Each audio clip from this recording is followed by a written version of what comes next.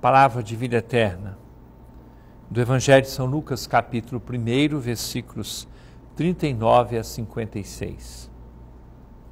Naqueles dias, Maria partiu para a região montanhosa, dirigindo-se apressadamente a uma cidade da Judéia. Entrou na casa de Zacarias e cumprimentou Isabel. Quando Isabel ouviu a saudação de Maria, a criança pulou no seu ventre e Isabel ficou cheia do Espírito Santo.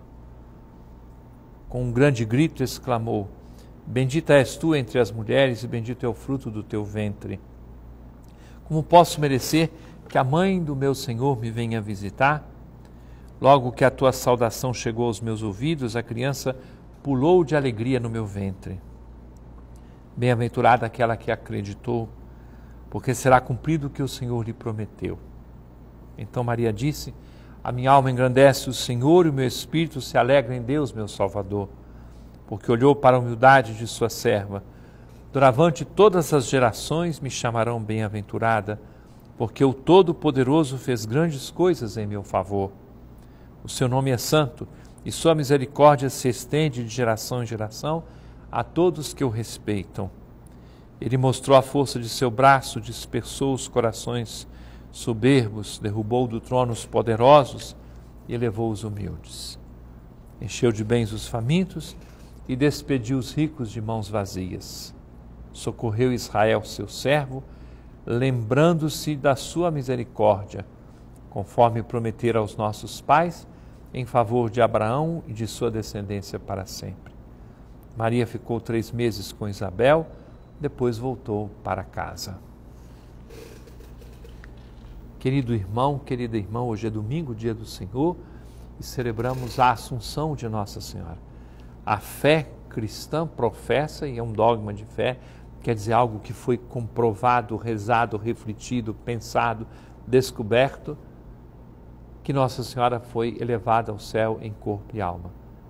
Já nos primeiros séculos da igreja, essa verdade era professada, mas ela veio a ser reconhecida oficialmente no ano de 1950, quando o Papa Pio XII proclamou o dogma da Assunção de Nossa Senhora.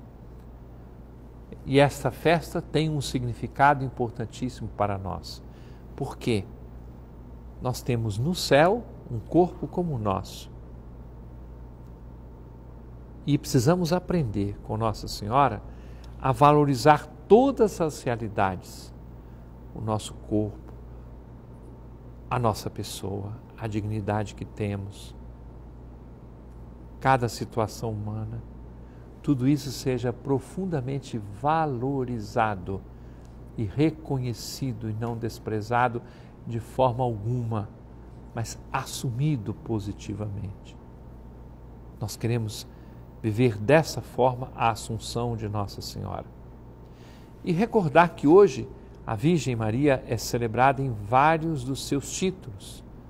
Nossa Senhora do Pilar, Nossa Senhora da Glória, Nossa Senhora das Vitórias, Nossa Senhora da Saúde, uma série de títulos de Nossa Senhora que são como que englobados nesta grande festa da Assunção da Virgem Maria ao céu.